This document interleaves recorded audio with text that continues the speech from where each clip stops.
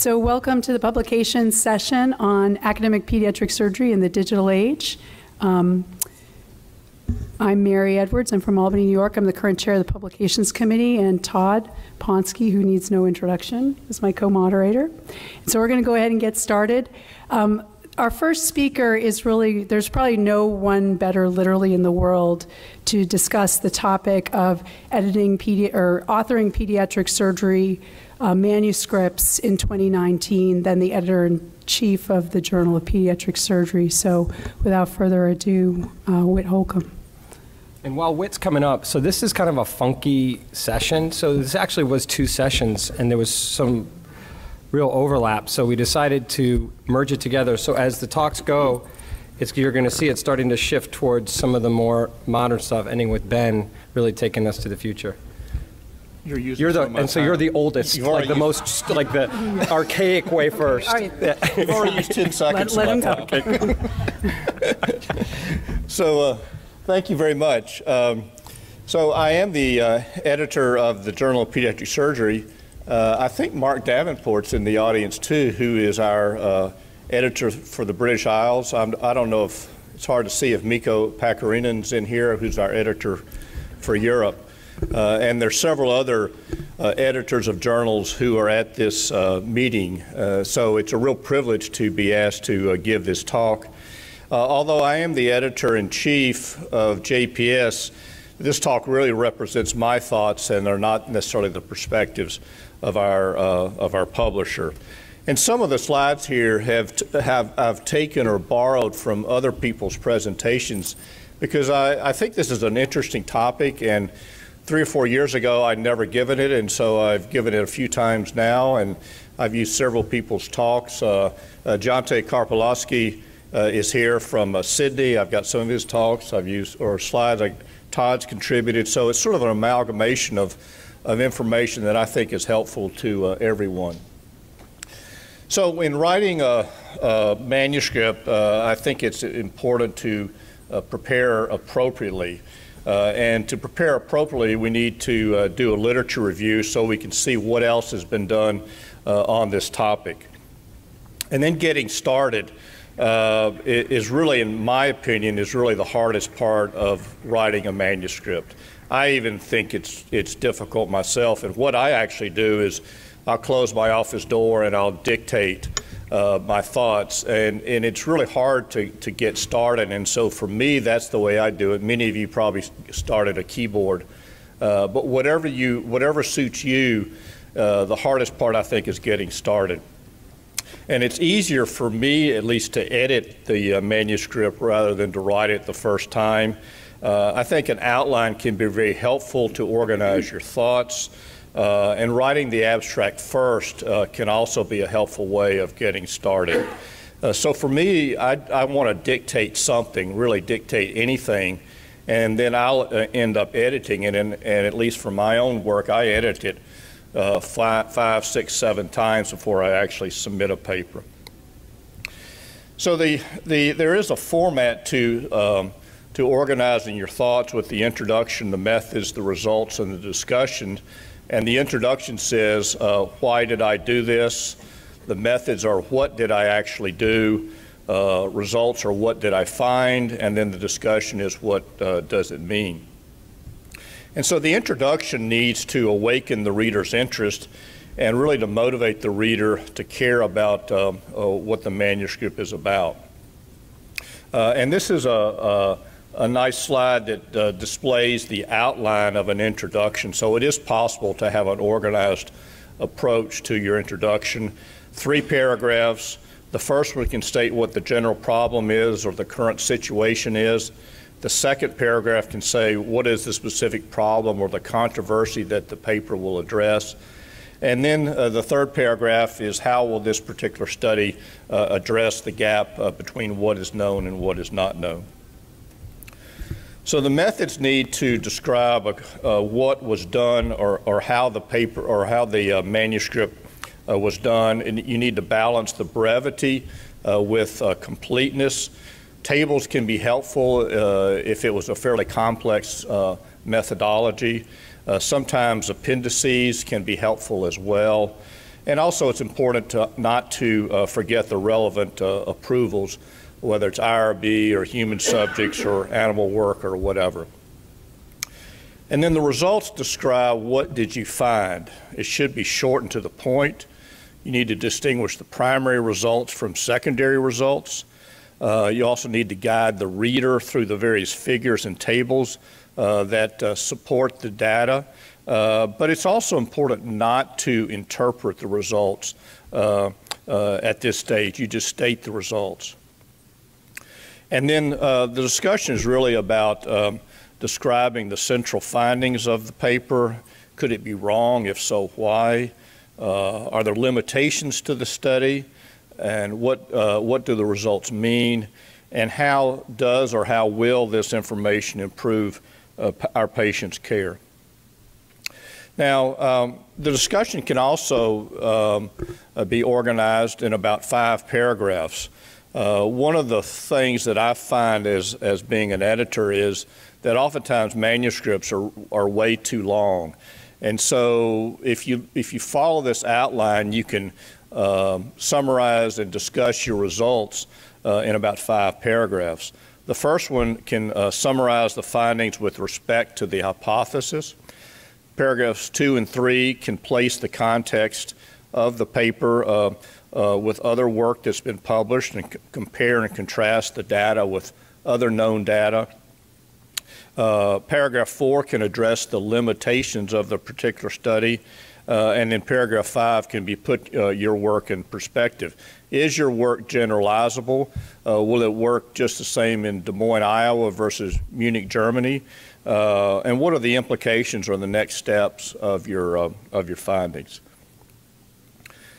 Now, having written your, your paper, uh, I think it's important to try to get feedback early and often uh, get some fresh eyes on the paper. You can ask a colleague, a friend, even your spouse to read it and give you feedback. When I was just starting out, uh, my father is a surgeon, and I would ask him to read my work. And, and I had to develop thick skin because it was all marked up. There were red marks everywhere, and obviously back then there was everything was in paper.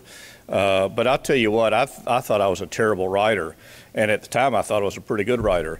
But if he couldn't understand it, and he, he, did, he was a surgeon, but he didn't grow up and do laparoscopy or MIS or all that stuff, if he, if he couldn't understand what I was trying to say, it really must not have been very clear. So, anyway, it helped me a lot to have someone else uh, read my work, uh, and you can too. And whether it's your next door neighbor in an office setting or a close friend or even your spouse, I think it, it can be helpful to uh, get fresh eyes on your manuscript because after a while, uh, you've read it so many times yourself that you just sort of can you've memorized it and you know what you're trying to say but it's important to say what you want to say and that's why it can be helpful to get uh, someone else to look at it so you've published it excuse me you've you've written it uh, and then you need to decide what your audience uh, should be uh, do you want a general interest journal or do you want a subspecialty journal and in some folks' mind, the journal impact factor is important. In our particular country, in the United States,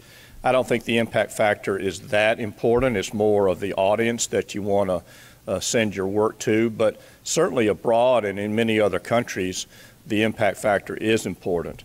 Um, and finally, I, I, I implore you to read the instructions to authors and also to follow those instructions. You would not believe how many papers are submitted to our journal uh, in which the um, authors have not followed the instructions, uh, and especially the references. Uh, our journal has a certain way to uh, compose the references, and you wouldn't believe, I bet you 70%, 75% of the papers that we see, or at least that I see, the references are not in the correct order. And it makes you think, well, did they A, read the instructions to authors, or B, did they submit this to another journal and it got rejected, and so they're therefore submitting it to our journal?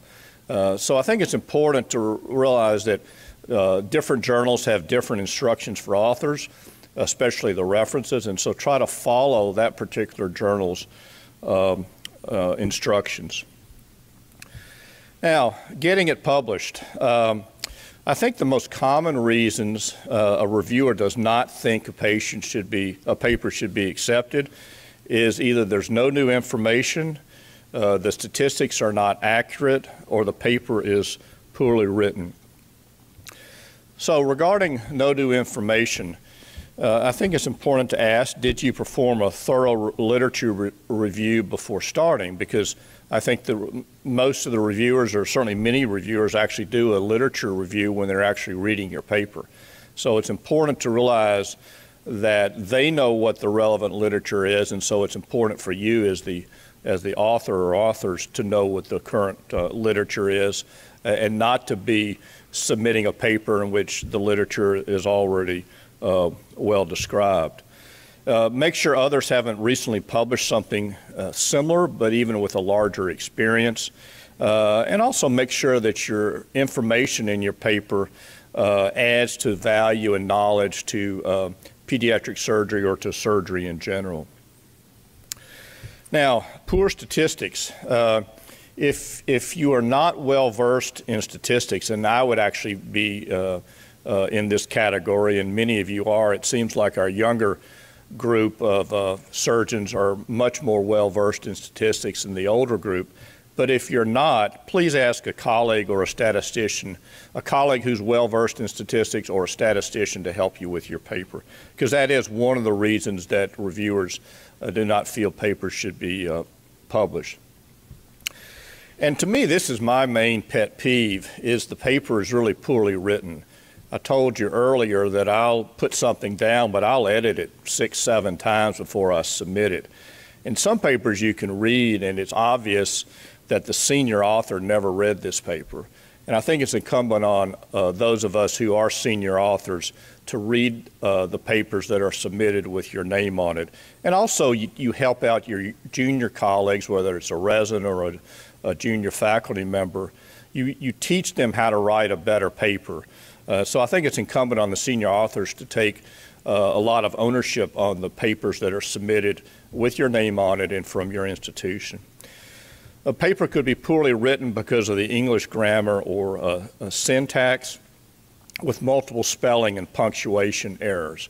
Uh, this is a little bit more uh, towards our, our colleagues or some of our colleagues abroad in which English is not your primary language. But I think if English is not your primary language, uh, and we certainly want to encourage you to, to submit your papers, then you ask uh, someone who is uh, well versed in the English language, or you get an English uh, language uh, person. Uh, sometimes you have to pay for that, but you get somebody to help you with the English language. Now, as a corollary to what I just said, is at least my impression is that a clear, well written paper, regardless of the topic, is usually viewed more favorably, favorably by reviewers, eh, which means it's more likely to get accepted. And so this is really the most common reason I think that a paper uh, is uh, not accepted is the, it's poorly written, with number two uh, being that it's not new information. Now, once you get the reviewer's comments back, if you're allowed to um, revise the paper, uh, then it's important to summarize each of the comments from the uh, reviewer sequentially and state your response. Uh, it's also helpful to acknowledge and thank the reviewers for any positive comments. Uh, and when you do make changes and you respond to the reviewers, uh, please indicate what changes you've made uh, in response to each reviewer's comments. And it's also helpful to highlight them in the manuscript. So what I suggest you do, you do, if it's possible, is you send two, two manuscripts in, one with the highlighted changes and then another uh, in which the changes are not, uh, or excuse the highlights not there. But it's also important not to argue with the reviewer uh, because ultimately the reviewer uh, holds the cards to whether your paper is, uh, is published. So a couple of uh, slides on closing tips, um, and these are like my my closing tips or my tips to to getting a manuscript uh, published. To me, the abstract is very important uh, because often the readers don't read the article; they just read the abstract. And you need to create some excitement about the data and try to grab the reader's attention so he or she will um, will want to read your article. It's also sometimes easier, as I've mentioned, to write the abstract first because it does organize your thoughts. Uh, and writing an outline may be a good way uh, to get started and also allows you to organize your thoughts if you have trouble getting started. Now, it's also important to make sure that the data in the abstract is exactly the same as in the paper. You wouldn't believe how many times you read a paper and you go back because you don't think the numbers in the paper are the same as in the abstract and you look and it's it's 347 patients in the abstract and 359 patients in the paper and and it just goes downhill from there and and so if you if your uh, uh, if your numbers aren't accurate in both places, it it does um, it does you, you, do worry about it as a reviewer that is this data really accurate. Uh, another thing is to make sure the concluding statements are supported by the data. There are a lot of MIS type papers in which are nicely done, uh, and then in the conclusions, even in the abstract or the paper, they'll say, and something like, and the cosmetic appearance is, is very pleasing, when in fact the word cosmesis is not in anywhere else in the paper. So if you just sort of added that as a concluding statement, I think we all agree that uh, MIS probably probably has a better cosmesis than an open operation, but you really need to actually prove that, uh, and just don't add that into a to a sentence that's not supported uh, by the data. Make sure that the tables and figures are informative uh, and that they add to the paper. And again, be sure the references are in the correct uh, format for the journal. Uh, so with that, um, I'll uh, wish you all good luck. I've noticed Dr. Benno Ure just came in, who's the editor of um, European Journal of Pediatric Surgery. Uh, so he's a good person to talk to and get to know. Uh, and uh, I enjoyed the, and Dr. Pierro, I think, walked in here. Uh, August, uh, Agostino is the, uh, one of the editors of PSI. Uh, so it's great to have uh, all of you editors in here, and, and uh, the audience members ought to take advantage of their presence and perhaps afterwards go up and say hi to them and ask them their thoughts as well. Thank you.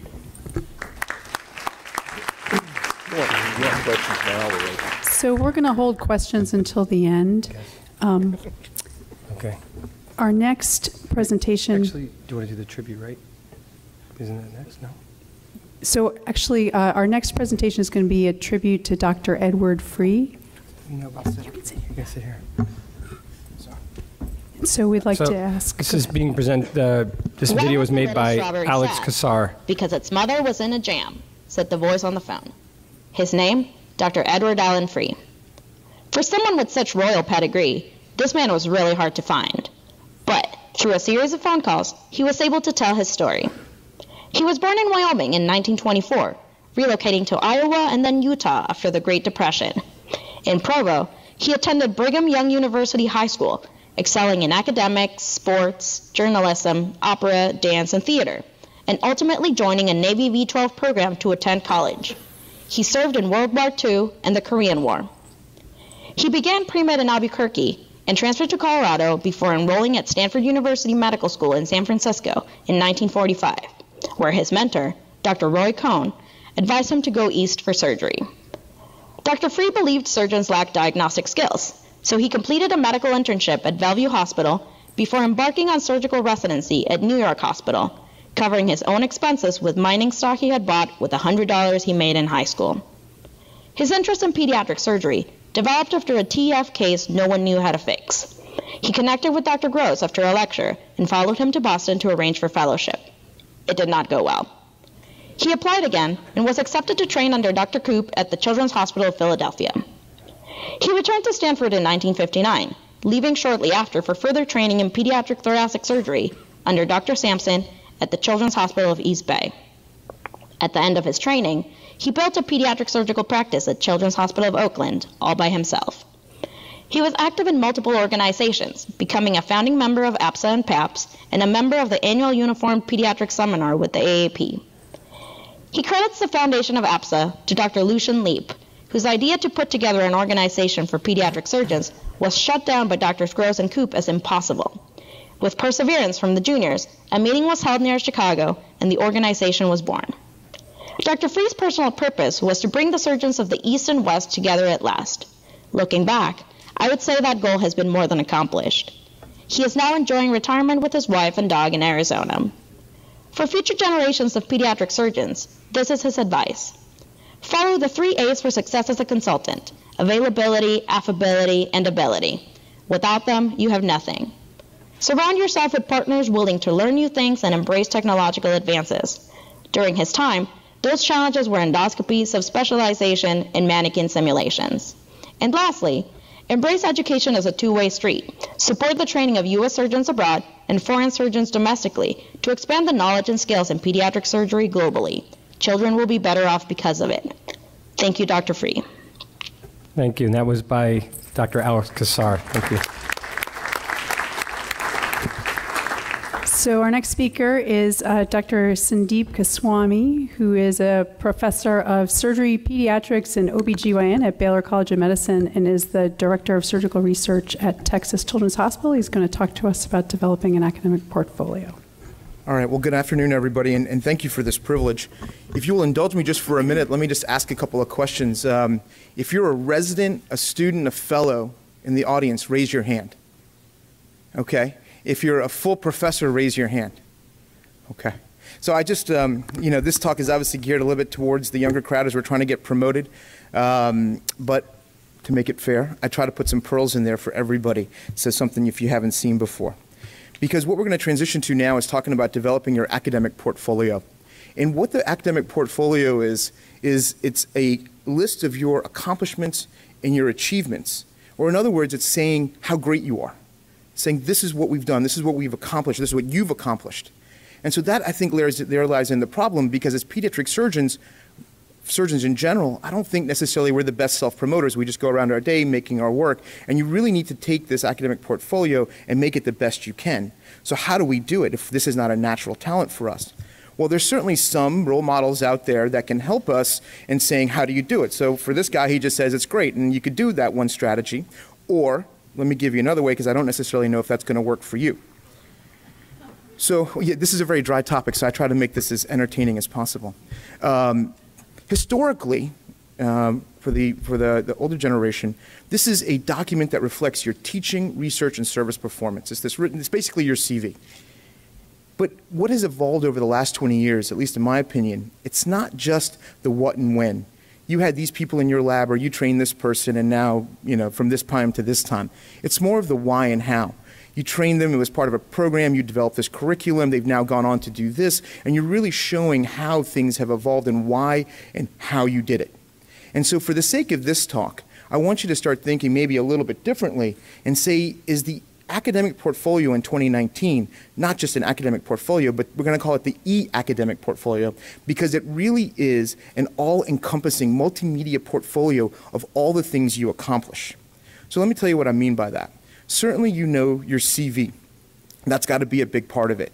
But there's other parts of it as well. Your website and how patients see you, part of how that is manifested, your CV will be on there. Also, social media, and I won't say too much because Dr. Ponsky and Dr. Nwomeh are coming up to say it. There's metrics out there online that you have to kind of manage, and also your professional network, whether it be through Doximity or LinkedIn, what have you. And all of this, if you think about it, is part of your e academic portfolio. So, no matter what the reasons why it's changed, because there's many that we're going to hear about today, the number one reason to have a great academic portfolio is because you want to get promoted. Now, the problem with this, wherever you are on this track, once you start hitting assistant, associate, full professor, you need to submit your packet to your promotions board so they can approve you. And it's very difficult for me to give you real advice on that because every institution is different. If you know one, you know one. But what I can tell you, at least for our institution, when you get promoted, you get more money. So it's a reason to get promoted, but it's not the reason to get promoted. But it's certainly what is talked about. The other part that is frequently talked about with promotion is tenure. Now, this concept, this is the definition of tenure.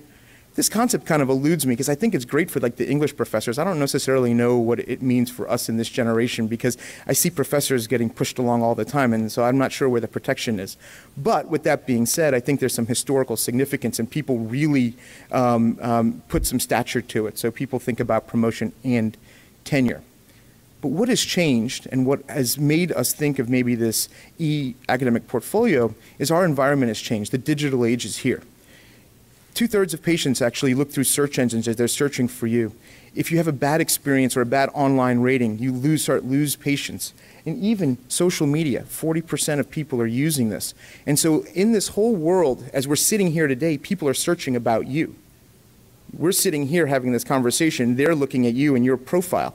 So at the end of the day, if you're trying to build who you are and what your academic profile is, then you have to have all of these things to counteract it. It's the only way you can control the narrative. So with that being said, the end goal, at least for us, is to build that academic portfolio because what it says to patients is this is why you should come from, say, Saudi Arabia to Houston to have your surgery. Because these are the things that we want to specialize in. These are the things that run through my CV, my portfolio, that say why I'm a specialist in this. And when you do that, you build centers. And so now, and the theory is if you have centers, you have more patients. More patients is better care. Better care is, it's this self fulfilling prophecy. And so it's this concept of using your academic portfolio to promote your practice, not just get promoted. And I think that's new today. Now, what I tell my fellows and the postdocs is an academic portfolio is like granite. Now, this shows how domesticated I am. For anybody that has um, redone their kitchen or built a house, everybody's smiling. It's actually painful, um, and you're, you're, now like saying that. But I want you to look at the left. And this granite, if you know it, this is the cheap granite. This is the low-level granite, grade one. It's not that there's not a bunch of points on there. So this is the work that's been done by this individual that generated this portfolio, this granite. It's not that they didn't work, but you look at that and just go, eh, it's kind of blah. It's low level. On the other hand, the level three granite, it's shiny, it's clean. But most importantly, it has these veins running through it. It has these points where they started coalescing. It gives it a striking appearance. So think about it. So for me, you know, I do fetal surgery, I do fetal wound healing, I talk about basic science research. Those are my veins that run through my CV. And when you pick up my portfolio, you should say, oh, this is what this guy does. This is what his interest is, and this is where he's going to make his impact. This person right here, no impact. That person right there, impact. If you don't want to believe me, even the NIH has adopted this philosophy. So in 2014, um, when you used to submit a biosketch, who submits a biosketch here? Who uses the? Uh, does anybody use biosketches? So biosketches are what we use to send to the NIH. When you, instead of sending your 70-page CV, you send a five-page biosketch.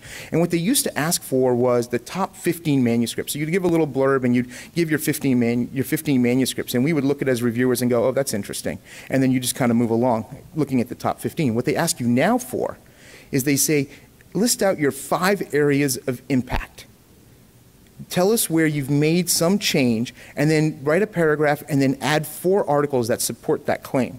And what you're doing is making your five veins. So this is something that even they've uh, uh, tackled and taken this approach. But I will tell you, and this is totally a tangent, but if you do, if you do use biosketches, so when you have to collaborate with somebody and say, oh, give me a biosketch, there's a website called SciENcv. And this is basically a web portal run by the NIH that once you, it'll take you a day to do your biosketch, but once you've done it, when someone comes to ask to collaborate with you and say, oh, by the way, because the usual answer is then give me a biosketch, this will generate a biosketch in 30 minutes and it will be perfectly formatted, but most importantly, tailored to that project. And it's really, really impressive. So this is one of those pearls. If you have to use biosketches, this is the website to use. So let me transition to some more of the more traditional elements of the academic portfolio. Research, service, and teaching, because these are the common elements required for advancement, because this is where we make scholarly activity and this is where we have our impact. Again, my disclaimers of institution specific, depending on what track you're on, so I'll keep it very broad. Now, before I get into that, know, because it's so institution specific, if you don't read the rules, you'll be like Patrick here, because all your friends are going to be getting promoted and not you. So you have to understand what your institution has to say and how you're going to do it. And I knew that. My mentor told me that when I came to Cincinnati. He said, hey, read this so you know what you have to do. I encourage everybody to do that. What I didn't know, and he didn't tell me, and it was actually Dr. Wesson who's sitting in the back, when I came to Texas Children's, he said, oh, by the way, you're supposed to save everything. So every piece of patient um, uh, card that you get, some, um, something from the residents when they evaluate you. Um, I, when I give this talk and I get some kind of critique back about how bad it was, you keep all of those things. Of course, you discard that one. But you keep all the good things. Keep all the good things. So for documentation, as we're going to keep it, um, you want to uh, preferably keep this as a running list. You want to list all the courses that you've taught, what peer review you've done. When you're, when you're reviewing for Dr. Holcomb and JPS, you want to be writing that down. Your student evaluations, your clerkship evaluations, if you're doing um, educational projects, uh, the resident training that you do, but you can't, it's no longer good enough to say, oh, I train residents. Who they are, how many hours a week you did, how you did it, what the content was, all of that should be in your portfolio. And if you do it once, you just kind of build on it. It becomes very easy. And of course, if you're mentoring and through research, that is certainly teaching. We talk about clinical teaching. You establish your area of expertise, give talks about that as you're um, educating the public. You do interviews in media, and of course, when you write review articles, all of that can be considered part of your teaching documentation in some institutions. As we move to service, it's about clinical productivity. You know, for me, I, use, I, usually keep a track of how many RVUs I've done every year so I can make a graph out of it, and that's how I track it.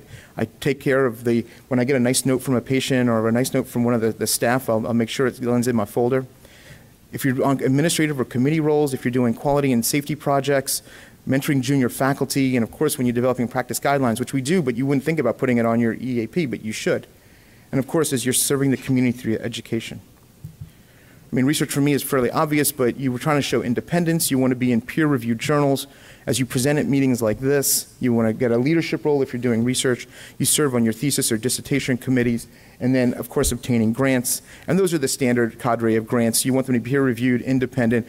The foundations, the, the federal foundations, the foundation grants, the society grants, and then of course I like to put on the competitive institutional awards because it shows for the junior people out there how you're making a track record of getting funding even though it's intramural.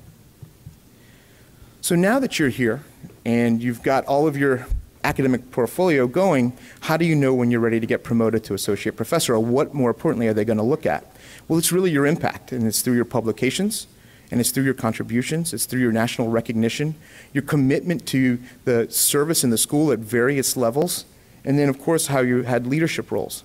But one of the questions that I get asked the most is, well, how many publications do you need? Because everything else, you're like, okay, well, I'm, you know, I, I can say I'm nationally recognized, I have some commitment, I've done my committees, but how many papers is enough? And to be honest with you, every institution is different. But I do like this one piece of data from my good friend Ash Kosane he used this thing called an H index. Um, if you know what the H index is, raise your hand.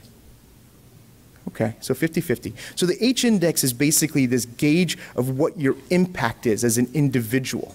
And what it equals is it's the number of papers you have for the number of times it's the minimum number of papers you have the, to the minimum number of times it's been cited. So for example, if your H index is 20, means you have at least 20 papers and they've been cited each at least 20 times. So he looked at this study of 450 academic pediatric surgeons in the US, and what he found was that assistant professors had 10, so that means they had 10 articles in print that had at least 10 citations. So you can write all the case reports you want and have 100, but your H index can, if they never get cited, your H index is still like 1 or 0. Associate professor, about 15, and full professors around 25. So when you get 25 papers cited 25 times, that's the average number in the U.S. And this is just a little bit behind where the where the um, where the scientific, you know, the biologists, et cetera, are. So it's not not that far. So let me finish off with my seven tips for building your academic portfolio. No talk, of course, would be complete when you talk about portfolio unless you have a good mentor. And I would highly recommend um, if you have, don't have one, find one. It makes it easier. Can you do it on your own? You can. It's not as easy. Um, those qualities of people that are generous with their time, their interest, they really care about you, and of course they have to know what they're doing. They have to have that wisdom. And if I would be remiss if I didn't re recognize Tim Crombleholme and Brad Warner and my old chief Pat O'Leary, um, who really they're like the Yodas to me. Even you know, as a full professor, I get mentored by them um, continuously, so I appreciate that. But I highly recommend that. Two, track and record your metrics. So this is a little bit different. We talked about H index. Who knows what the altmetric score is? Raise your hand if you know that. Oh, okay. At least one thing I can say. Um, and then some individual qualitative metrics, which are obviously individual, but I'll, I'll tell you what mine are. So the index, we, H index we've talked about. So what the altmetric score is, is a new score used by the publications where they're looking at how much, how buzzworthy it is. And so what that means is they're looking at how many news articles picked it up, how much Twitter um, activity there is, how many times it's blogged, et cetera, throughout all these different things. And it generates these numbers. And basically what they say, and this is from their website, a score above 20 is good. You're, in their words, far better than its contemporaries. So we published this article in Science a couple of months ago, and we have an altmetric score of 541 because it got picked up by that's a lot of things. Alan Flake published in 2017 the, the fetus in a bag. It has an altmetric score of 4,096. It's like crazy. I mean, that's like, you know. But that's also, you know, and you also now know how much interest it generated worldwide and actually maps it out by country. So you can know exactly who's reading your articles. It's pretty cool. I wrote this bottom paper with um, Alan Goldstein, my good good friend Alan Goldstein and Dave Hackam about the challenges to being a surgeon scientist in annals. And it generated an altmetric score of 374 because there were so many of these reviews about it, so many editorials about this one article that it basically just drove up the altmetric score. And if you think about it, when you're going to your promotion committee or when you're going to your chief and saying, look at what I'm accomplishing, it's this kind of stuff that they need to see because this is not the classic. This is why this is in 2019. Now, individual metrics, you know, for whatever you do, you do, and you got to figure those out, but it's not traditional. Maybe you just count your RVUs. For me, when I was first starting my career in Cincinnati Children's, I was trying to make myself known as a fetal surgeon. So to show that, I had to show I was doing fetal, you know, cases and consults. So I would track how many fetal consults and, and the diagnosis is that what I would see. And so that actually made it into my portfolio so that people could look at it. So if you're doing trauma, maybe you include the activations. If you're doing um, um, the number of Kasai's, then how many I mean, Kasai's, then you say how many Kasai's. If you're doing cancer, et cetera. And then you can show that in your portfolio to show this breadth of what you do. So when I say, hear me roar, and this is why I'm great, you have to have some data behind it. We go back to documenting and tracking your service, and for the more junior people out there, it'll start with your service, and you'll start with institutional committee memberships, which then goes into society memberships like um, um, APSA, your ad hoc review for JPS, you're a committee chair as you move on, the editorial board, and then when you get to the end, you're in study section. For research, it's starting off with first and middle um, publications, then it goes to the career development grants, Regional speaking are your first invites, so you know your local NICU, local um, ACS state chapters, et cetera. You get onto independent funding if you're on the research track, and of course you get onto national, international speaking, and then of course the ultimate is that you mentor people through research. When we look at teaching, this is actually um, where Dr. Wesson helped me the most because while I've been teaching in my whole career, I wasn't really documenting it. And that is where I would tell you because when I had to start making my portfolio, it's quite challenging. If you, you will get it done, but it won't be as good as if you started doing it from the get-go. So having a philosophy statement, saying what your five-year goals are, and then looking of who you're teaching, how you're teaching it, when you get assessed, what's your curriculum development if, you, if you've done that, mentoring and advising, the educational leadership, and if you make enduring materials, that also is included in that, that teaching track. Of course, networking whether it be through the e-networking or networking at meetings like this, participate in societies. I expect everybody to get up and ask a question after this. Introduce yourself to others. Develop your relationships. Of course, be active on social media. And lastly, now, this is obviously important because I've said it now four times. It's all about your institution. So you know the timeline, follow the rules, get your mentor on board, and above all, start planning early. So I'll finish here and I'll say, what can you do today? So, one, when you're out in the bar tonight having that glass of wine, think about what kind of granite you are. You level one granite, are you going to be level three granite? What's that, what's that portfolio going to look like? If you do bio sketches, use SciENcv. If you don't know it, when you do it, you're going to send me an email going, wow, how did I live without this thing? Read your P&T requirements, well, not today, but when you get home. Routinely track your teaching, research, and service. Because if you try to do it all at the end, you end up missing it it doesn't look as robust, and it's 10 times harder. Know and develop, most importantly, develop your metrics. If you're in some fields, the metrics are already there, but develop your own. Who says you, we're pediatric surgeons, we get to do what we want.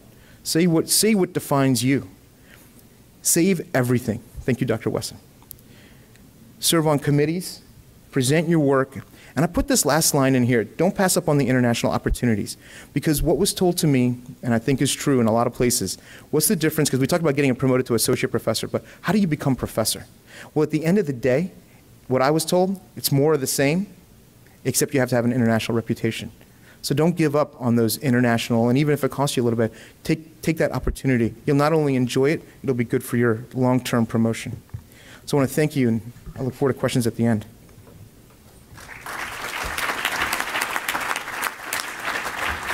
So our next speaker. So our next speaker is my co-moderator, Todd Ponsky, who's a professor of surgery and also the director of clinical development and translation at Cincinnati Children's Hospital. He's right. going to talk to us about the digital disruption of academic medicine. All right, thank you very much. Uh, we're going to talk about a little bit of fantasy here and talk about where things are going in the future. So, let's say you're, it's to be a question for you guys now. So, let's say you're on Who Wants to Be a Millionaire, you don't know the answer, you got three lifelines. One is they remove half the choices, two is you can call an expert, or three is you can ask the audience. Who here would go with 50 50?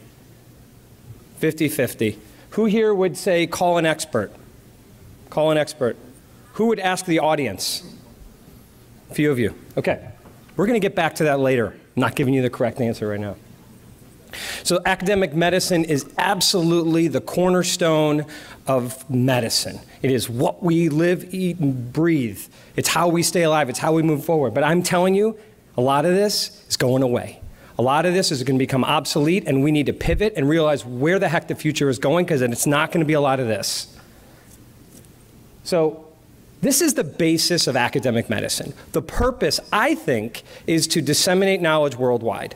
The purpose is so that everyone around the world can learn. Right? Would you guys agree, or is there disagreement with that? Agreement. And that only works if those who do the work get recognized. Now, I, some of us say, no, no, that's not true. I do this because it's good for the world. Okay, well, then publish anonymously and see how many publications we get out there. We want to get recognized for our work, and right now, we're not doing either of these very well. So, let's talk about dissemination of knowledge. How are we doing? Would you say that we are spreading knowledge equally around the world? I would argue that we are absolutely not spreading knowledge equally around the world. That is pathetic to me. That in 2019, there might be disparities because of financial resources to buy the best OR, but knowledge should be equal. There's no reason that in 2019, in the digital era, knowledge should not be equal. It's because of access and money, because most education costs money. That is horrible, in my opinion. It has to happen. I'm not saying it, we can just get rid of the costs, but I'm telling you that is something we should strive to change. So I read this book. Has anyone read this book, The Age of Acceleration? Bunch of you. Okay. Thomas Friedman, writer for the New York Times, he talks about that we are now in this new age of acceleration. That everything is rapidly changing, much faster than it's ever changed before. So we've heard a lot about this already today, the Moore's Law. Who's heard of Moore's Law? Now uh, almost everybody's heard of it.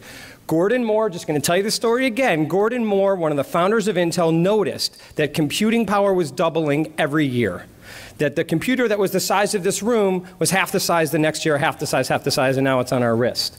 And he predicted that this would continue on forward, and it did. So who cares? So what? So things are doubling. We love it. Technology's growing. You're laughing. Have you heard of this story? Yeah? Okay. You guys have heard the story. I'm going to tell you again. Suffer through it a second time. Okay. The king's chessboard. A guy. Has anyone not heard this story? Okay, I'll tell it. So, this guy invents a chessboard and he takes it to the king of India. By the way, I found out part of this is actually a true story. So, takes the chessboard to the king of India, and, he, and the king says, This is the most incredible game I have ever seen in my entire life. What can I do to repay you? And he says, All I want is rice. And the king says, How much? And he says, Let's play a game with my chessboard. So, what I want you to do is put a grain of rice on the first square, two on the next, four, eight, double with each square. I'll take the rice and go home and give it to my family. The king says, No problem. So he starts putting rice into it, and, and he realizes that uh, know, the second row is getting a little hairy because a big number doubling becomes a massive number. And when he gets to the second half of the chessboard, the palace room starts, the whole palace fills up with rice, and then the entire country of India fills up with three feet of rice. That's the power of doubling. So when someone just tells you that things are doubling every year, you better recognize that this is no joke. The doubling is massive. By the way, uh, back there, this uh, talk's to have a lot of audio. I don't know if I told you. Cool. All right. So we recognize doubling's an issue that we need to recognize and deal with. By the way, 18 quintillion pieces of rice, if you wanted to guess. Uh, but other things are doubling, not just computing power. Everything is on this acceleration curve. So things are going to change because being on an acceleration curve changes everything. So computing power, technology, patents. Guess what else is doubling? Our world, medical publications have reached the upswing of exponential growth. They are, we are now on the second half of the chessboard in medical publications. 30 years ago, it wasn't a big deal. Now, we are exponentially growing. What do I mean? In 1950, they would say that it would take 50 years for the amount of publication of medical knowledge to double. It would take 50 years it accelerated so that in 1980 they're like, oh, we take that back. It's seven years. It's seven years, We'll be doubled. And then in 2010 they're like, oh, well, we take that back. Actually, it's three and a half years. In three and a half years, all of medical knowledge will double every single year. And now they're saying that in every in 2020, every 73 days, the amount of knowledge in Medline in PUP will be doubling every 73 days. Okay, it, that is impossible for us to be up to date. I remember Davenport when he's heard this talk the first 15 times. I remember when he, I said, who in the audience says they're up to date? He's the only guy who raised his hand. Right, Mark? True story. True, he's raising it again. Okay. So the problem is this. When Keswani publishes a paper that's a massive, important paper that we all need to know about, it's camouflaged. So now we're sitting at our conference and we're all talking about papers, and none of us are talking about the same paper because there's too much out there. There used to be like you all knew the Sentinel papers. There's no such thing anymore. So it's impossible to know what to know. So when my dad finished medical school and then got to the end of his career, yes, things were growing, but it was manageable. This is us now. How is that going to be manageable? We have to rethink our strategies. We have a much bigger knowledge gap now, not knowing what we're supposed to know. So Thomas Friedman says that if things are accelerating and you're in a kayak and the, the water starts moving fast and you just put your paddle in the water, you will flip over. You will flip over. We can't just sit with our paddle in the water. Now we realize the problem. Now we have to rethink about what we're going to do because we can't sit still and think that things are going to work the way they've worked the past. My argument is that I think digital is going to solve a lot of these problems. I'm going to give you a few examples. How do we get knowledge into the heads of doctors? I think it's this. It's the matrix, right? We take pediatric surgery and we just implant it into our head every single week or whatever often, right? Here we go. That's the answer.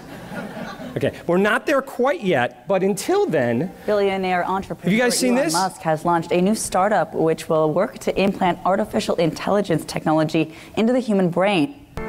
Well, oh, I screwed it up. Sorry. The ultimate goal of this company is to merge man with machine, fusing human intelligence with artificial intelligence to bring humanity up to a higher level of cognitive reasoning. Musk has been calling this brain computer interface technology Neural Lace. In essence, Neural Lace is an ultra thin mesh that is implanted into the skull and forms a body of electrodes which are able to monitor brain function. Neural Lace should enable humans to upload or download information directly from a computer. so it's a little crazy, but not that crazy. Elon Musk just invested in it. All right. Anyways, that was just for fun. All right. So back to reality. So, how do we stay current? This is how we stay current textbooks, medical societies, and journals. I am arguing, sorry, Whit, and all the editors of all the journals, I don't think you guys are going to be around in 15 years. I think journals are going to be totally different than they are now. I'm just predicting that we need to anticipate that the system for journals in other areas is changing, and I think it's going to end up changing in ours. And for us to stay current, we're going to have to realize what's changing and adapt. Okay? I do think we're going to need the entities, but it's not going to be in the form we see them now. I read this book. Oh, by the way, if you have an iPhone and you hold your phone up and you just aim it at your camera app, if you aim your camera app at any of these, anytime I read a book that I like, I'll put the QR code and you could download the book. Okay, so this guy says that the three things that are going to revolutionize everything are machine, platform, and crowd. So instead of textbooks, societies and journals, we're going to have machine, platform, and crowd. Machine, I mean artificial intelligence. Platform, I'm going to show you. And crowd, I'm going to show you. So machine learning, we talked, you always heard about AI today. AI is the new hot topic. So I'm going to skip really fast through this. I believe that AI, which basically means, does anyone not know what AI is? Okay, I'm going to skip it because we have short on time. I believe we're going to need artificial intelligence to solve this problem. So we are actually trying to figure out. So the other problem, by the way, is not just too much information. We read these journals in the United States. Sorry, Benno. I don't, yeah, okay. So so in this, in this country, we read usually these journals. The problem is the best stuff is not published in the journals that we read. So how often do you page through Cell Science or Nature? Probably not that often. So that's the great journal paradox. We don't actually see the best stuff that's published. Um, so the, there's better stuff in surgical journals, and then there's medical journals, and then there's those. So we don't see it. So I want to create a filter, an AI filter that can figure it out for us. So we're working on this. We're working with our data scientists to try to come up with a solution of a calculator. This is Abdul Rauf Lamouchi who started this project, and we're, for the sake of time, I'm going to skip forward. QXMD, I just found this. I forgot the QR code. It's QXMD. They have created an AI algorithm that's doing this. They're, they beat me to it. It's amazing. I downloaded the app and they'll send me articles and they are in random journals like gastroenterology, but it's exactly was the article I actually wanted. So it's, it's a really, they're, they're heading in the right direction. They're from Australia, I think. All right, back to this. You want to know the answer? So, phoning a friend, well, so the 50 50 gives you a 50% chance. Phoning a friend 66% of the time, your expert friend that you think is an expert will actually know the answer. The crowd, 91%. The crowd is always right, not the experts. The experts are right some of the time, but the crowd is going to be often more often than the experts. So, this is the answer. This guy, Francis Galton, everyone ever heard of him? Francis Galton takes an ox to the 1890 state fair. He says, How much do you guys think this ox weighs to 800 people? And they guess, We think it's 1,197 pounds. It was 1,198 pounds. This study was just repeated two years ago, and they found the exact same result again. The crowd is always right. So let's use the crowd a heck more often than we already are. We have to embrace the power of the crowd in a million different ways. We're only going to talk a little bit today about academic medicine, but bringing the crowd is the future of everything, I think. YouTube does it. That's how we take care of 5 billion videos because of the crowd. It sources it for us. And finally, we're going to end on platform. Something happened in 2007. In 2007, out of nowhere, there was a platform revolution. And everything had to be rethought. Stuff that we thought we understood had to be rethought. Industries were taken down overnight because these platforms were smarter than the ways we were doing things. Now, the greatest holder of content doesn't own any content the greatest taxi company in the world doesn't own a single car. The largest seller of merchandise doesn't own a single product, and the largest hotel chain doesn't own a single room. Platforms have rocked our world, and it's time for us to see how it's going to affect medicine, because I guarantee you it's going to happen. This is our platforms. We publish and we stand up here at a podium because that's how we think we're going to get knowledge around the entire world for free. And I will tell you that that is not going to work. It's important, it's going to always be there, but it's not going to be how we solve the problem of true knowledge dissemination and democratization. This is how we're going to do it. We're going to share. We have to learn how to start sharing. Sharing content. We need to re realize how people are digesting content, and we need to start sharing it. We need to start using digital mechanisms. I'll tell you, my guess is all three of these won't be the primary mechanisms in the future. But the idea is right now there are mechanisms to share digitally. We need to learn to share. But our attention span has changed. We used to read War and Peace. And we say, now, forget it, I'm going to go watch the movie. Is there a movie, War and Peace? I'm going to go watch it. And my kids say, I swear to you, this is a true story. My kids will not go to the movies with me. I have a 12, a 13, 7, and 6, uh, 9 and 6 year old. They won't go to the movies with me because they say it's too long. I don't want to sit through a two hour movie. I want to watch a six second Vine video. My kids can't handle something longer than three minutes. So we're like marathon runners. Instead of giving people information that's like a bucket, we should be giving information that's like a cup. We should be realizing that the best way to disseminate knowledge now is not through massive amounts of information, but bite sized pieces of really rich, important, curated content. That's how we're going to get content around the world. We have to rethink the way we've been distributing. So, by the way, this is kind of cute. YouTube average two minutes, Facebook is one minute, Twitter average video is 45 seconds, and Instagram is 30 seconds. This is the new thing. And by the way, the most rich content is not paper anymore, it's all these other things. So, one example that we've done through JPS is if we take a journal, instead of reading the journal, we've decided, and the journal's not that long, but we can't read every single journal anymore, we put it in, a, in an infographic, and that's happening everywhere. Ben's doing a great job putting infographics. That's one way. If I'm talking fast, it's because I got two minutes left. We've made videos. We've made videos because it's rich content. This is an example. If we find something that we're, so we're sort of curating. If we think that's something important, we make a video. This is an example.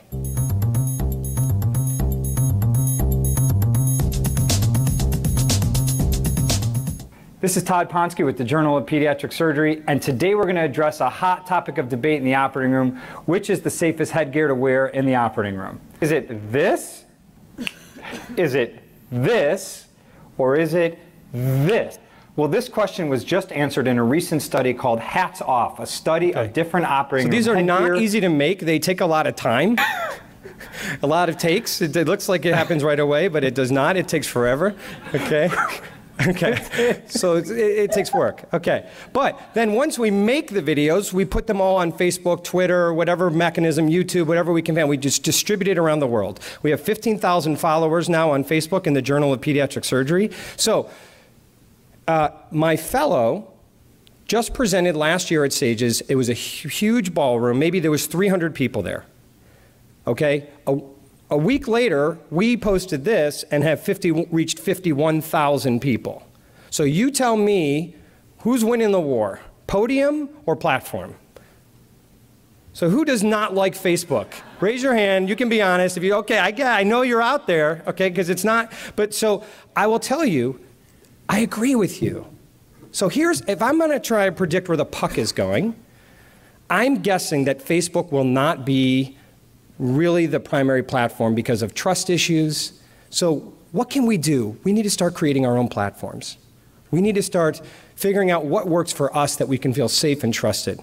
So what if we can have a feed of new publications from the journals you choose, crowdsource to determine the most popular articles, have video reviews of the top articles, a video library of surgical videos, treatment guidelines, a communication portal so we can ask questions to each other safely, audio chapters, get CME credit, and it would be free and democratized around the world. So we've been working on this. I would say it's in a work in progress, uh, but we're trying to figure out how can we reach the world. So we joined together with Kansas City, Journal of Pediatric Surgery in Cincinnati, um, put together this uh, attempt at trying to define the new platform.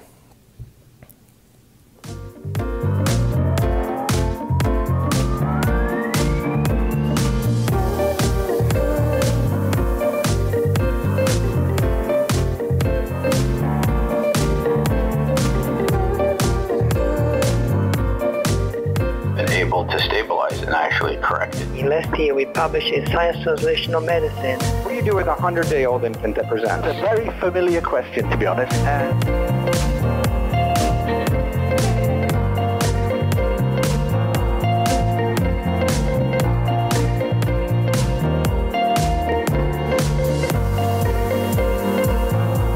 the only thing that's attaching the lesion. And so the assumption is, is that there's a vessel in there somewhere.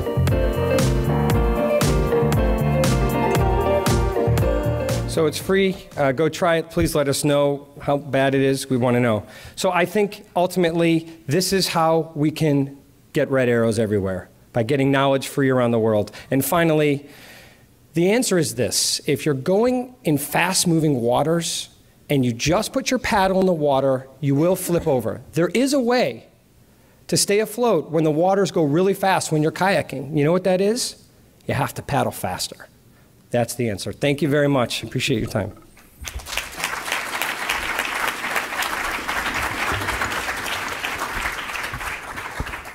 So our next, uh, our next uh, um, thing is a, actually a tribute to Dr. Soper, and this will be by Numa Perez and Maggie Westfall from Boston Children's Hospital. There was a visiting doctor from South Africa, and he began to talk to Bob about pediatric surgery, and Bob's eyes just lit up. So September finds us sailing to Liverpool with four little children. He loved doing all different kinds of surgery, and I think that you know the peds, even today, is more of a general surgeon than general surgeon. He was a man who loved babies. There's nothing that he enjoyed more than holding a baby. There was no pediatric surgeon in the entire state of Iowa, which made it very tough for Bob. Most of the surgeons in the state of Iowa saw no difference between an adult and a baby. And it was an education thing that Bob had to do. And of course, he had to be very political because if he fussed at these GPs, they'd go to Mayo's. So he didn't couldn't fuss at them. He had to educate them. He was proud to be from Iowa and in Iowa, and he didn't want to uh, leave, have no one there. He showed us how much he loved it, um, despite the hours and things, and I think that meant a lot. The only thing he did outside of work um, was hang out with his family and play tennis every meeting this group of cohorts would get together and play tennis, and they had such a good time. and this whole group of naughty boys would they would cut out in the morning as soon as soon as they had a little breakfast and take off for wherever we were for the tennis courts, and then come sneak in late. he was uh, a very compassionate surgeon I was with this old guy who didn't know that I was uh, Soper. I don't think. I don't think he put two and two together. But we were walking down the hallway, and Dad went the other way, and this guy, this other older janitor, said, "You know, that's Dr. Soper. He's the only one here who knows my name." We went to Puerto Rico to take those boards. And I've never heard such a bunch of liars in my life. All she said, get on the plane. Have you studied? No, no, no, I haven't studied. And of course, being with the wives, they were chuckling up their sleeves saying, never heard so many lies in my life. They're worried to death, studying, studying, studying. I think it was a tremendous relief that they were recognized now, and they were very eminent men, older than Bob, who were the, the real fathers. He was passionate about pediatric surgery and passionate about the organizations that, that supported it. He believed in it, and he believed in the power to change. My dad was really proud of the APSA and, and the whole thing about surgeons finally getting together to certify the subspecialty in the United States. But from that point on, I mean, they knew that they were recognized and it was an honorable society. It was not just an offshoot of surgery. And that made all the difference in the world.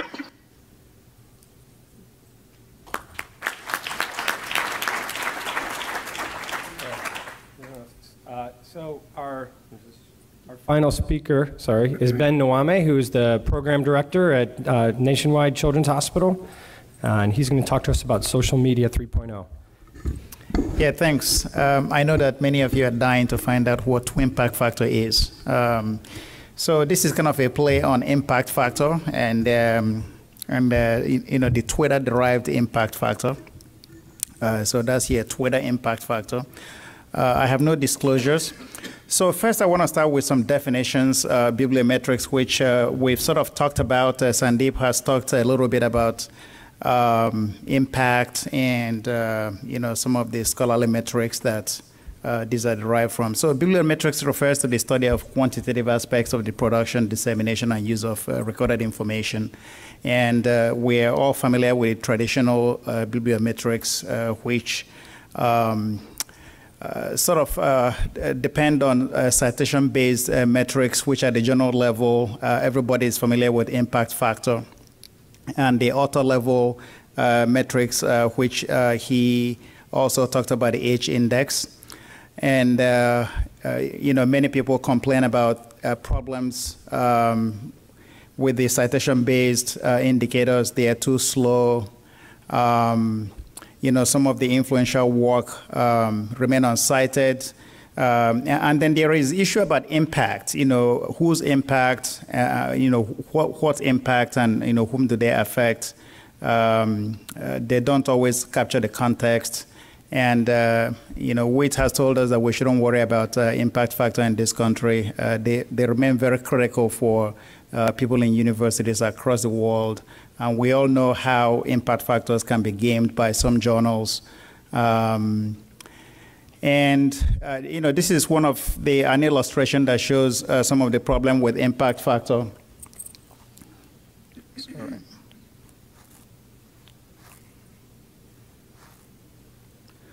Uh, so the impact factor is calculated over a two, uh, two year window, but we know that most articles keep getting cited for many, many years.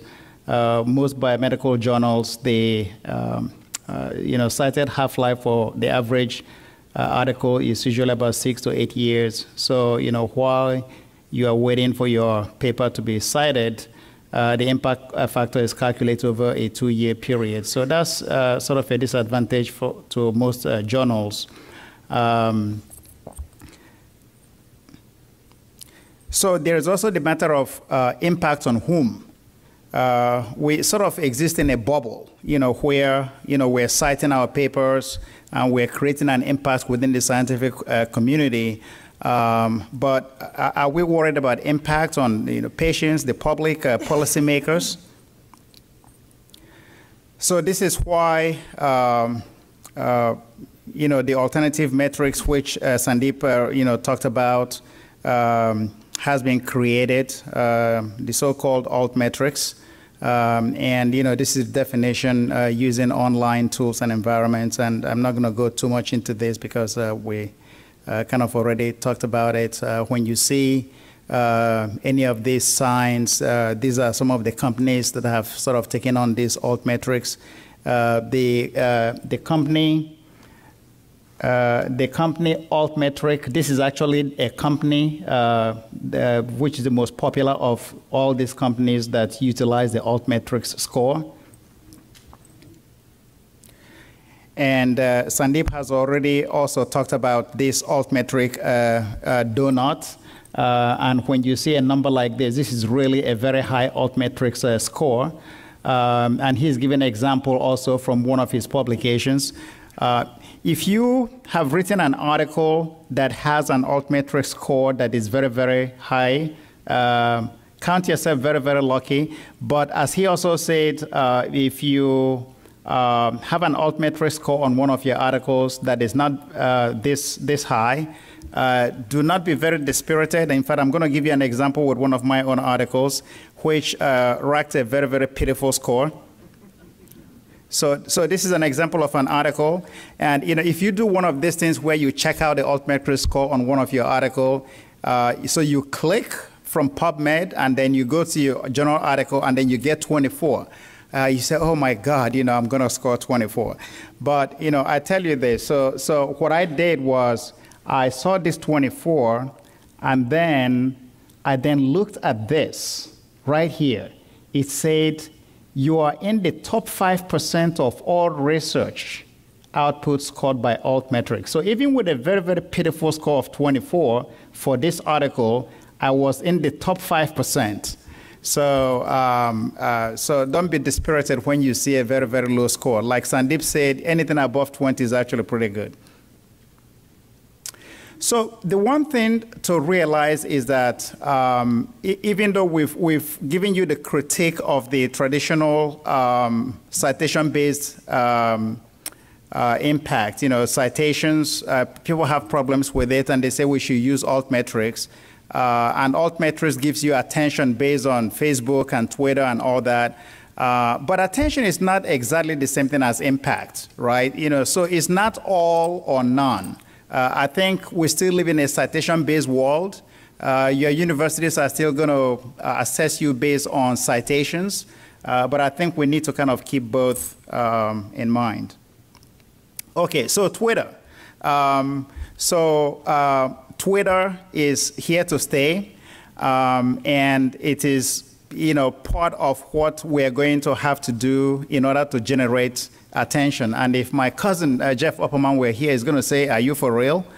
Uh, so you know, many years ago, people were making lists of you know surgeons to follow on Twitter, and believe it or not, there were actually many pediatric surgeons on this list. And um, uh, Nick Kristof, who, as uh, many of you know, is a journalist uh, with uh, the New York Times, uh, published this editorial, um, you know, several years ago, and he was very concerned about uh, the lack or the seeming lack of public intellectuals or shortage of public intellectuals, and he was concerned that many scientists, especially people in the biomedical world, were shrinking from participating in public uh, discourse. Um, and uh, he, he, recognized that part of the reason was because uh, many of these academics were worried that their own colleagues uh, would, uh, would criticize them for engaging in frivolous, what they would consider frivolous distraction from real research. You know, if they were to participate in, say, you know, discussions on public, uh, uh, you know, social media. Uh, you know, this was exactly, I think, about five years ago. Uh, and I tweeted at that time that, you know, perhaps if they did that, that they could be penalized uh, if they pontificated on Twitter or, or, or Facebook at that time.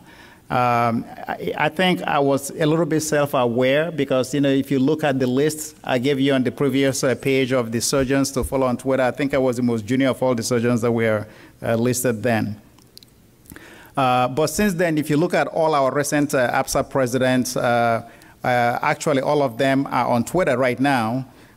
so it seems like you know, Twitter has become mainstream within pediatric surgery, and I don't think we have to worry so much about that now. Uh, and certainly a lot of uh, you know scholars are on Twitter right now. So these are the Twitter-based metrics uh, that we now have to um, be aware of. So what are tweetations? So anytime that you tweet a complete link of an article, that is called a tweetation. And I will define twimpact factor and Twindex. So it does really turn out that if you write an article and people are tweeting about it, that that Twitter activity will predict that your article is more likely to be cited. So this is what it looks like. So if you write an article and people start tweeting about it, so people are going to likely start tweeting about it as soon as it gets published. And citation will follow months and years afterwards. And what the data shows is that the highly tweeted articles are 11 times more likely to be cited than the less tweeted articles. And the top cited articles can be predicted from the top tweeted articles with 93% specificity.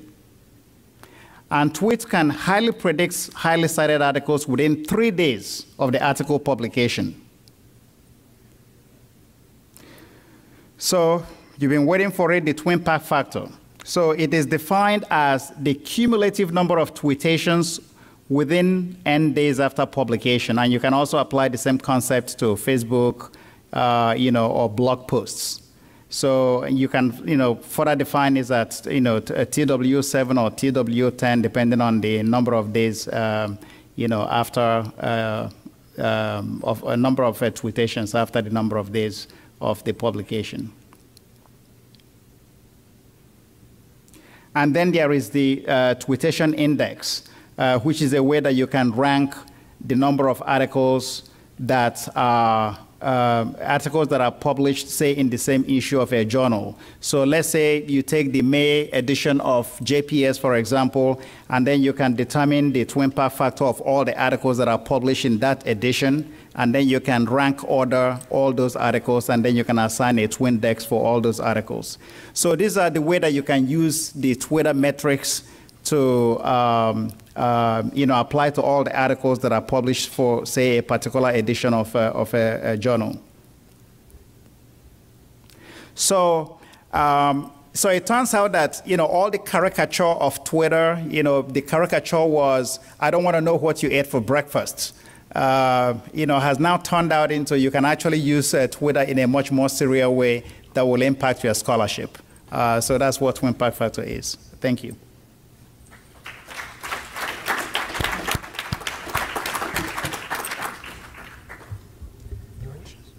Any, why don't we just do this right now? Since, or does anyone have questions for Ben since he's up here now?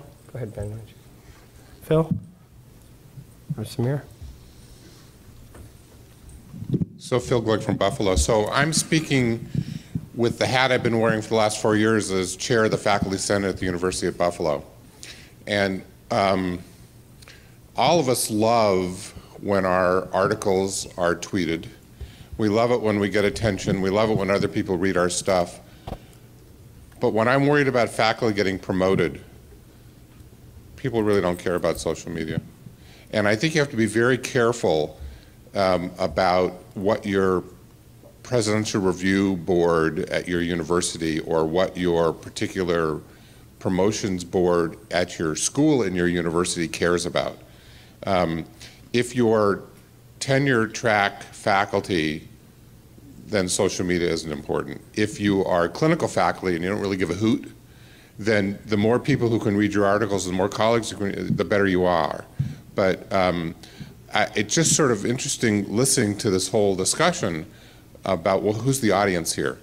And I have to tell you, as pediatric surgeons, we want to publish in the Journal of Pediatric Surgery. But if you're doing basic science, you're wasting your time. You really want to publish in Nature and Science and, and you know, scholarly journals. So, and then pediatricians don't even read it. But it's just sort of it's just sort of interesting. It depends on what your career path is going to be. Ben, you're a great. Um, you've done great things with social media and pediatric surgery, and you've got all of our presidents tweeting, um, which is which is nice. Um, but I think you just have to know who your audience is, and um, you know, for gun safety, our audience is the public for you know basic science, it's the nerds. So, thank you very much for your talk. So well said by the guy who got me tweeting in the first place.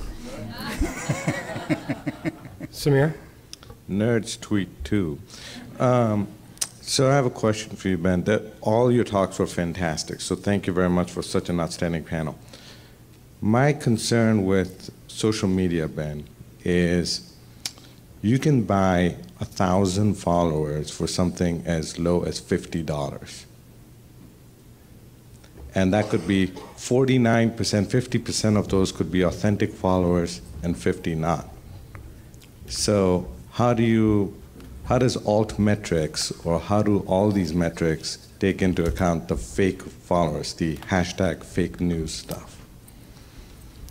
Yeah, I think uh, you know I acknowledge that in one of the slides that these things can be gamed, but you know you can also game citation impact factors. Journals game it all the time by writing editorials and writing a lot of review papers, and then they can jack up their impact factors. So all these things are prone to, to being gamed. So I think you know you just have to be careful about how you interpret all these numbers, whether traditional or alt metrics. And by the way, this is, we can ask, we have the whole panel here now, so if you have questions for, for Waiter Sundeep. Um, thank you much. I mean, this is a very, uh, it's a very interesting uh, panel and discussion that, that, that, we are having.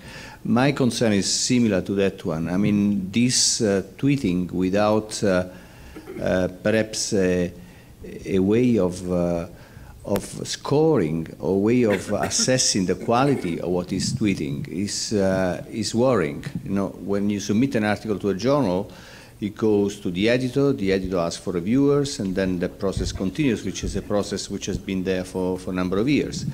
Now, uh, measuring the impact on the basis of how many citations, how many people have read that little bit may not be adequate to, to make any real judge on the scientific quality of that, uh, of that um, paper or whatever you publish. So I, I'm just a little bit uh, scared about this because there is no great deal of, uh, of checking uh, the quality of what is out, there. So that's, that's my, my main concern. And measuring the impact of something in medicine may not take just one year or two, it may take longer. You can have a randomized control trial, may have an impact in uh, subsequent years, which is not measured by tweeting necessarily that. I'm not saying that we should be against it, absolutely not, but I, I, I wonder if this is a real problem. Okay. Next comment. Um, I stand to make an admission and an announcement. My admission is, is when we put the program together for APSA, I was a little bit skeptical about this session, and I was 100% wrong, because all four of those talks were tremendous. And I will say, as a reviewer for the JPS, and I don't do it very much, but they um, give me articles every once in a while to review, I would really emphasize that people in the audience, both young and old, uh, take Dr. Holcomb's talk, which will be available on the APSA website probably in a couple weeks, and highlight every one of those bullet points and check them off when you write a paper. Every one of those is really important. So thank you, Dr. Holcomb, for bringing those forward. Uh, Casey, thank you. Ed Tagge, Loma Linda. Uh, Todd, I'm really interested in your app. Who's doing the filtering? How, how are you going to be reviewing all these thousands of articles? Are we all going to just end up being kind of homogenous in what we we know because we're all looking at the same app? So you just hit on what I think is the biggest need, and I'll tell you what we're doing, but we have a lot more work to go. Um, I, right now, we're using a feed of only the pediatric surgical journals. We could add every journal, but that would be too much right now, and it's crowdsourced. So however many people like it, it rises to the top. A lot of complaints about that. Okay, some people love it. Some people think, is that crowd the right crowd to be deciding what we should be reading? Also, we're missing all the journals that are not in the pediatric surgical. So what we're going to do is reach out to that company and QX or de design with, with our, hopefully our protocol, will be able to use natural language processing to say, this is a good article, this is one that should be in the app. Right now, I don't, and I'm very open to suggestions if someone knows how we can better curate. It almost might be you have to subspecialize your app. So here's the inflammatory bowel disease. Well, here's the what? Here's, here's the inflammatory bowel disease. Here's short gut. Here's oncology. Here's quality. So, Here's, right, so we have that already built in. Um, we wanted to wait till we had enough people to make it worth. So now, when you go into settings, it says tell tell us what your areas of interest are, and you would get a feed only of those articles. And also in the but community, only from pediatric surgery. Yeah, for pediatric surgery. You're saying outside of pediatric surgery. Right. We're doing that too. Yeah. So we've, we're making an ENT one, and uh, it's going also, but this is just pediatric surgery. But I'll, I'd love to talk to you after, because I'll take any suggestions. Hi, Janet Meller. I have a question about every day we about your dissemination of knowledge. Every day we get, I don't know if you get, but I get in my email box thousand solicitations from journals. My guess is they're from other countries because they're the English is poor, or whatever. Are we? How how is that going to impact on how our articles are being published when there's this huge amalgamation of choices that maybe younger our younger um, authors or younger authors to be wouldn't know how to use. So when you say you're being solicited, are you being solicited to review the articles? To send to send one in. Send okay. one in, So if you're so let me just make one comment. Part of, let me explain why there's an explosion in publications. Number one, there's been an explosion in predatory journals. Mm-hmm. So that's number one. Open access predatory journals are now everywhere, and that's causing a lot of the noise. The the second thing is everything is digital now.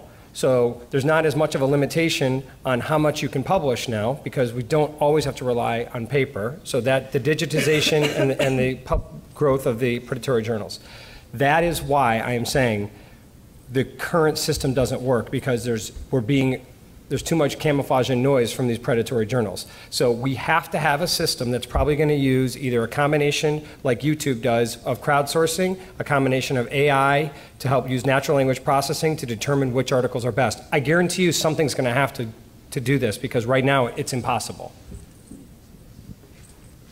Eduardo Perez, Miami. I actually had a similar question, uh, but I want to see anybody on the panel. How do you like? We stick to uh, index journals we publish or review. I've been told you know just ignore any open access source, but I mean it's getting higher and higher. How do you see it in education, just going up and, and, and ranking? Um, is it something that's looked at? Because again, we tend not to just ignore it, but I mean it's out there.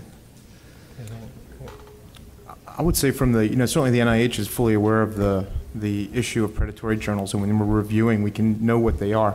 But this term that open access equals, you know, a bad thing isn't necessarily Yeah. true. There's, Right. you can, you can purchase, if you want to publish in FASEB, a very respectable journal, Journal of Biological Chemistry, you can, you can purchase open access. And I do that for my higher profile work, so that way people can, can cite it for free. So you're disseminating it. Now, you have to be in an institution that's going to pay for it, hopefully. So I think that that's, those are still reasonable ways. Um, but there's definitely, I think, you, that emails you, the emails that you get to solicit you, those are pretty, they're not, you may not even get published, meaning like you may send it in, you may pay the money, but that's probably their first edition. So they have to get enough articles to actually get published. So for the most part, I'll, I'll speak broadly, when you're getting solicited by these things, the same as when you're getting solicited to give a talk in China, which we get, I get five a day. Um, those are probably not true. With that being said, I got one from South Korea that really was a real one. So you have to be careful that some people are actually trying to get you to come speak about your work. So be open-minded and at least make it through the end of the email. Augusto Zani, uh, Toronto, SickKids, Toronto.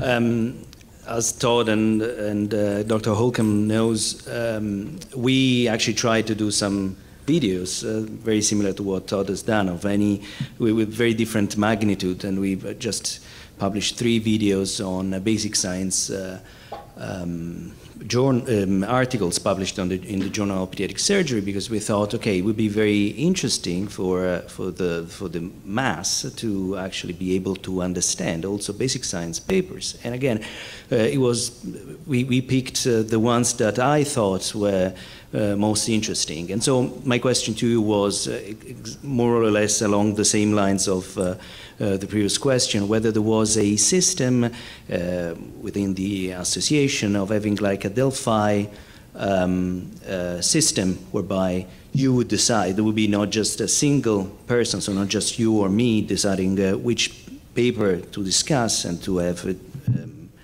um, a wide, wide discussed uh, on, on the social media. Um, and instead having a, a panel of uh, experts uh, in different disciplines, because in fact uh, we take the pride of uh, really operating from uh, top to toe. And so you, you need experts, and it could be clinical or it could be basic science papers. And I, I was just wondering whether there was a system you were thinking of to implement so that the, the, these exercises that you've been doing and I we're trying to keep, keep, keep doing uh, uh, can, can progress. Yeah, I think that, first of all, your videos are great. And it was funny, the debate you and I had is that I thought nobody wanted to hear basic science videos, and you said you're wrong, and they did want to hear basic science videos. I think, I mean, everyone's hitting on the right point. Um, we, the, the point is we need to get a group of us together to figure out, uh, real, to realize the problem and start thinking of curation ideas about how we're going to, like when you make a video, you're basically telling everyone this is one that you should be paying attention to. This is an article that's important. Um, and as far as how to, you know, and then we have to figure out ways of disseminating it. So it's content creation, it's curation, and it's dissemination. I was relieved to see that actually you had to take a lot, to, you had to have a lot of takes. It took me much longer. I'm sure Oh, it takes a lot of takes. It yeah, Yeah, yeah, it takes yeah. a lot of takes. Mary Arnold from Cape Town. Thank you to the whole panel for exceptional talks. My question is to Dr. Um, Holcomb. with such ex- exponential growth of literature, how what is your advice to, to somebody junior in terms of intellectual property and acknowledge, acknowledgement of other authors in terms of managing references? How do you give credit where it's due, but at the same time, when there's so many articles out there without having a hundred references for, you know, for, for one or two points, how, how do you cope with that? Well, um, my suggestion for that is for you to pick the articles that you think are the highest quality, uh, perhaps the highest level of, of evidence, and cite those. I don't think you need to cite, obviously, 100 articles for one sentence. But if in certain situations there's, you know, one or two or two or three seminal type articles or, or easily the top articles in that one particular uh, area or, uh, or topic, and I think you can cite those. That, that's, that would be the most practical way, I'd tell you, to, to try to figure out which, are, which papers to cite. Hi, Peter Liebert from New York. Uh, you might be interested to know that my wife, Mary Ann Liebert, whom I'm sure you know is a publisher, a medical publisher, uh, was approached by a journal to write an article. Uh, they ac- actually addressed her as Professor Liebert, and uh, she wrote a nonsense article for one of these predatory journals, and they agreed to publish it. so the the real question is, uh, do we have a way of identifying them so that uh, we don't get caught in this? That's a great point. I mean, you, it's a, go ahead. I have a particular bias on this topic, and it's not just uh, the Journal of Pediatric Surgery, but it's all the pediatric surgery journals that are peer reviewed. Uh, and I, I really truly believe that the peer review process is vitally important uh, in, in not only disseminating appropriate information, but in also protecting our patients. Uh, and so my, my suggestion is not to uh, participate in journals that are not peer reviewed, uh, because I think that's peer review process is so important. And when we're actually, you know, we are taking care of other people, and in our field, it's babies and children. And I think we need to have the most unbiased uh, uh, literature out there that, that we're we're predicating our our um, our treatment of those patients. So my my my plea is to whether it's my particular journal or, or all the other fine journals in pediatric surgery is to pick a, a peer-reviewed journal. Thank also you, one that's probably I couldn't indexed agree in more. I mean, that's a good way to know. If it's not getting indexed in PubMed, then you have to question about what's happening there. Yeah. Hi, Bruno Martinez from Mexico City. Uh, This is a couple of, a question and a suggestion. Do not over specialize the app, the curator aspect of the app, because if you get a, I get a colorectal paper to review, maybe it's very important for me that I do colorectal, okay. but maybe not for the for the public. That's the first one. Second one is, how are you going to manage the access to the articles? Maybe it's not a problem here in the mm-hmm. United States, but maybe you are aware of Sci-Hub. It's a very important tool for everyone around the world that doesn't have access to a, Okay. an article. So you, that is a big problem that we don't have a solution for right now, that we can't give away the articles, the journals can't give away the articles. All we can give away is the abstract, and if you have a membership, you can do it. And that is a problem, but I don't think there's an immediate solution unless we can figure out a different business model. Whit? So I think Whit's all of- decided, he's going to give everybody the articles for free. Thank you. Thank you very much. All the uh, editors know, uh, in this room know that I have no power to do anything. It's really your publisher who makes those decisions. But, um, uh, but, but, it- yeah, so I I don't know, I think it's, I think it's a difficult problem. But I also want to just say a word that the app that, uh, although our hospital is, uh, is part of the process, I certainly didn't have much to do with it, except I was Todd's biggest supporter in, in this app. But I think it's important to realize that this app is really in its infancy. I mean, the app is three months old. Uh, so we're, you know, barely out of the neonatal period. And so there's, there's growing pains and development pains. And, and I hope that in the next uh, year or two or three that this will be, uh, be really ready for prime time and it'll be a better product.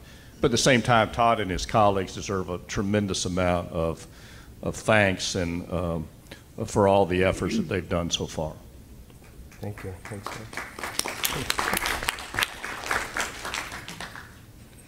So Whit, I would like to compliment you on your presentation. I think if there are medical students, residents, or young faculty, if they abide by those rules, they will go far.